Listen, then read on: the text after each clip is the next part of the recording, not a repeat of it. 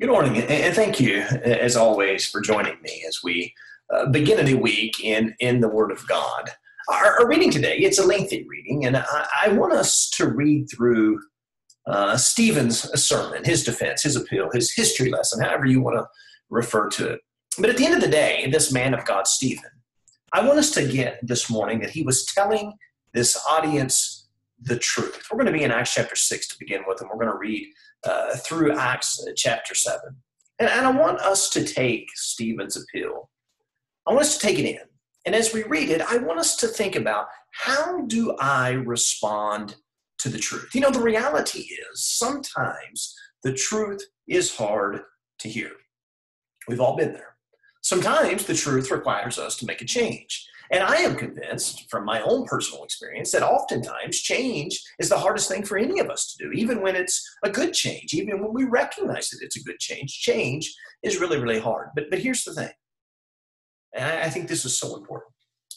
Regardless of how we respond to the truth, regardless of how hard the response is to truth, no matter what, the thing about truth, it remains the truth absolute truth, which is what God's word is, doesn't change. Circumstances or even one's perception does not change the truth. So the question for every single one of us, what are we going to do with the truth? I want to read this together. it's lengthy, but I, hope you'll hang uh, with me. We're going to start in Acts chapter 6. We're going to begin at verse 8, and we're going to read all the way down to the end uh, uh, uh of chapter 7. Let, us begin at verse 8. It says, Stephen, full of grace and power, was performing great wonders and signs among the people. But some men from what was called the synagogues of the freedmen, including uh, both Cyrenians and Alexandrians, and some from Cilicia and Asia, rose up and argued with Stephen. But they were unable to cope with the wisdom of the Spirit which he was, with which he was speaking. Then they secretly induced men to say, We have heard uh, him speak blasphemous words against Moses, against God. And they stirred up the people, the elders and scribes, and they came up to him and dragged him away and brought him before the council. They put forward false witnesses who said, This man incessantly speaks about this holy place in the law. For, for we've heard him say that this Nazarene, Jesus, will destroy this place and alter the customs which Moses handed down to us. And, and fixing their gaze on him, all, were, all who were sitting in the council saw his face like the face of an angel. Acts chapter 7, verse 1, the high priest said, Are, are, are these things so? And he said, Hear me, brethren and fathers. The God of glory appeared to our father Abraham when he was in Mesopotamia before he lived in Haran. And he said to him, Leave your country and your relatives and come into the land that I will show you. And he left the land of the Chaldeans and settled in Haran. From there, his, after his father died, God had him move to this country in which you are living now. But he gave him no inheritance in it, not even a foot of ground. And yet, even when he had no child, he, he promised that he would give it to him as a possession to his descendants after him. But God spoke to this effect that his descendants would be aliens in a foreign land. They would be enslaved and mistreated for 400 years. And whatever nation to which they will be in bondage, I myself will judge, said God. And, and after that, they will come out and serve me in this place. And he gave him the, the covenant of circumcision. And so Abraham became the father of Isaac and circumcised him on the eighth day. And Isaac became the father of Jacob, and Jacob of the 12 patriarchs. The patriarchs became jealous of Joseph and sold him into Egypt. Uh, yet God was with him and rescued him from all his afflictions and, and granted him favor and wisdom in the sight of Pharaoh, king of Egypt. And he made him governor over Egypt and all his household. Now a famine came over all Egypt and Canaan, and great affliction with it, and our fathers could find no good. But when Jacob heard that there was grain in Egypt, he sent our fathers there the first time. And on the second visit, Joseph made himself known to his brothers, and Joseph's family, same family, was disclosed to Pharaoh. Verse 14 says, Then Joseph sent word and invited Jacob, his father, and all his relatives to come to him, 75 persons in all. And Jacob went down to Egypt, and there he and his fathers died. From there they removed, they were removed to, to Shechem and laid in the tomb which Abraham had purchased for some money from the sons of Hamor in Shechem. But as the time of the promise was approaching, which God had assured Abraham, the people increased and multiplied in Egypt, until there arose another king over Egypt who nothing about who knew nothing about Joseph. It was he who took shrewd advantage of our race and mistreated our fathers, so they could so they would expose their infants and they would not survive. It was at this time that Moses was born, and he was lovely in the sight of God, and he was nurtured three months in his father's home. And after he had been outside, Pharaoh's daughter took him away and nurtured him as her own son. Moses was educated in all the learning of the Egyptians, and he was a man of power in words and deeds. But when he was approaching the age of 40, it entered his mind to visit his brethren, the sons of Israel. And when he saw one of them being treated unjustly, he defended him and took vengeance from the oppressed by striking down the Egyptian. And he supposed that his brethren understood that God was granting them deliverance through him, but they did not understand. On the following day, he appeared to them as they were fighting together, and he tried to reconcile them in peace, saying, Men, you are brethren. Why do you injure one another? But the one who was injuring his neighbor pushed him away, saying, Who made you ruler and judge over us. You do not mean to kill me as you killed the Egyptian yesterday, do you?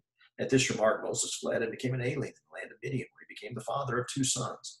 After 40 years had passed, an angel appeared to him in the wilderness of Mount Sinai in the flame of burning thorn bush.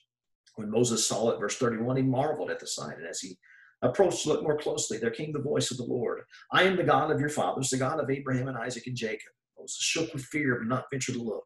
But the Lord said to him, Take off the sandals from your feet, for the place on which you are standing is holy ground. I have certainly seen the oppression of my people in Egypt, have heard their groans, and I come down to rescue them. Come now, and I will send you to Egypt.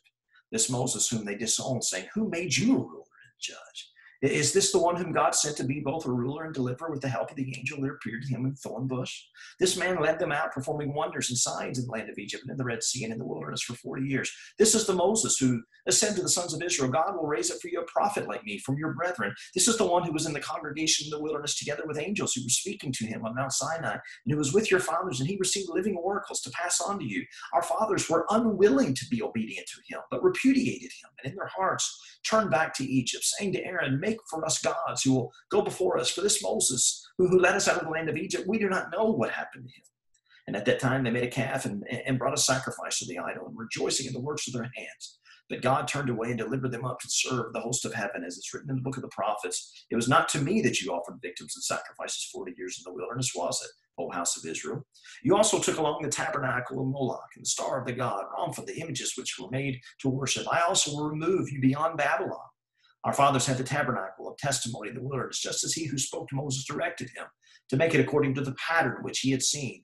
And having received it uh, uh in, in, their turn, our fathers uh, brought it with Joshua upon dispossessing the nations whom God drove out before our fathers until the time of David. David found favor in God's sight and asked that he might find a dwelling place for the God of Jacob. But it was Solomon who built a house for him. However, the Most High does not dwell in houses made by human hands, as the prophet says. Heaven is my throne, and the earth is the footstool of my feet. What kind of house will you build for me, says the Lord? Or what place is there for my repose? Was it not my hand which made all these things? You men, verse 51, you men who are stiff necked and uncircumcised in heart and ears are always resisting the Holy Spirit. You are doing just as your fathers did. Which one of the prophets did your fathers not persecute? They killed those who had previously announced the coming of the righteous one, whose betrayers and murderers you have now become. And you who received the law as ordained by angels, and yet you didn't keep it. And when they heard this, they were cut to the quick. Verse 54, and they began gnashing their teeth at him. But being full of the Holy Spirit, he gazed intently into heaven and saw the glory of God and Jesus standing at the right hand of God. And he said, Behold, I see the heavens opened up and the Son of Man standing at the right hand of God. But they cried out with a loud voice and covered their ears and rushed at him with one impulse. When they had driven him out of the city, they began stoning him. The witnesses laid aside their robes at the feet of the young man named Saul. They went on stoning Stephen as he called on the Lord and said, Lord Jesus, receive my spirit. Then falling on his knees, he cried out with a loud voice, Lord, do not hold this sin against them. Having said this, he fell asleep. That's quite a reading. I know it's a little lengthy, but I, hope you recognize how good it is for us to be reminded uh, of these things. Verse 10 says that they were unable to cope with the wisdom and the spirit by which he was speaking. You know, not a whole lot has changed, has it? They couldn't cope with the truth. So instead of engaging and reflecting and even charging, instead of dealing with the truth, they attack the person. They conjure up some ridiculous and baseless charges, and they drag Stephen, this man of God, before the council. In chapter 7, in his defense, Stephen takes these uh, men through a history of God's people and ultimately accuses them of rejecting and resisting the will of God. Verse 51 resisting the Holy Spirit, he says, as they had always done. You see, their history was one of rejecting God's chosen vessels to reveal his will and persecuting the prophets, messengers for God, uh, to the point of killing the Son of God, the one whom had been prophesied about throughout the law that they claimed to cherish but were disobedient to, as Stephen says. And here's the thing all of this was true. What you see in their reaction is no factual rebuttal, no theological rebuttal there isn't one because it's truth. They've been presented with the truth. You remember the reaction in Acts chapter 2 when those people were presented with the truth. In Acts chapter 2 at verse 37, you remember when they said, Now when they heard this, when they heard the truth, they were pierced to the heart and said to Peter and the rest of the apostles, Brothers, what are we to do? You see, that's what happens when truth confronts the honest and good heart. Now, you contrast that with these arrogant, puffed up, delusional leaders in verse 54. Now, when they heard this, this is Acts 7 at verse 54, they were infuriated and they began gnashing their teeth at him. Look at, look at verse 55. It says, But he, being full of the Holy Spirit, that being Stephen, looked intently into heaven and saw the glory of God, and Jesus standing right at the right hand of God. And he said, Behold, I see the heavens opened, and the Son of Man standing at the right hand of God. They can still do the right thing. Now will they listen? Will they accept the truth? Will they change? No. What will they do with the truth? Look at verse 57. But they shouted with loud voices covered their ears and rushed at him with one mind. And when they had driven him out of the city, they began stoning him. Here's the reality, brethren Stephen told them the truth. And instead of being pierced to the heart, instead of humbling themselves, instead of repenting of their sins and being baptized for the forgiveness of their sins, instead of accepting Jesus on his terms, listening to the messengers of God led by the Holy Spirit. They were mad and they gnashed their teeth and they shouted and they covered their ears like children. And then they killed the messenger. The exact thing that Stephen had confronted them with by way of their history, by way of their present. They wouldn't accept the truth. Jesus said.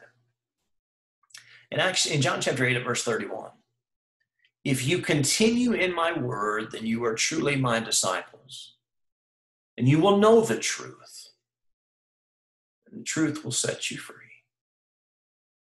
That's true. The truth will set you free. That's absolute truth. But how about this? If your heart's not right, if you're not honest with yourselves, if you're not honest with truth, the truth, it'll make you really mad. It may even cause you to cover your ears and scream. But it's still the truth. So let me pose this question as, as we close. Why not just accept the truth as it is and change if that's what truth is calling for? Quit fighting the truth. You know, regardless of what they did to Stephen, regardless of their unwillingness to accept the truth, it didn't change the truth. The truth was still the truth. So here's my question for us What's your reaction when confronted to truth? Acts 2:37 or Acts 7:54. That's pretty good. Our Father in heaven, Father, we are so thankful for the truth that has been revealed to us. Father, give us and help us to be humble, to recognize that your word is true and it's good for us. Father, help us to always rightly divide your truth and to accept it in humility. Give us the courage to repent in light of truth if needed. Father, we pray for every soul that is listening to this this morning. And if things are not right, Father, I pray that you would give them the courage this very morning to repent and to change in light of truth. In Jesus' name we pray.